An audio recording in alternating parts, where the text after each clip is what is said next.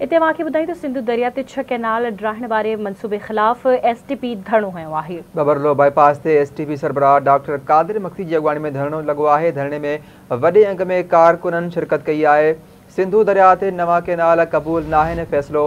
वापसि वरितो वञे कादिर मख़्ती जो इहो चवणु आहे अहम ख़बर आहे सिंधू दरिया ते छह कैनाल ठाहिण वारे मनसूबे ख़िलाफ़ु एस टी पी धरणो वियो आहे जॾहिं त बबरलो बाईपास ते एस टी पी सरबराह डॉक्टर कादर मख़्ती जी अॻुवाणी में धरणो वियो आहे धरणे में वॾी अंग में कारकुननि शिरकत कई आहे दरिया ते नवा कैनाल क़बूल न आहिनि ऐं फ़ैसिलो वापसि वरितो वञे डॉक्टर कादिर मक्सी जो इहो चवणु आहे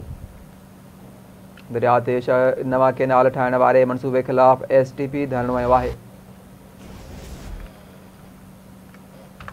सिंधु दरिया ते छह कैनाल ठाहिण वारे मनसूबे ख़िलाफ़ एस टी पी धरणो हयो आहे बबड़ो बाईपास ते एस टी पी सरबराह डॉक्टर कादिर मक्सी जी अॻवाणी में धरणो हयो आहे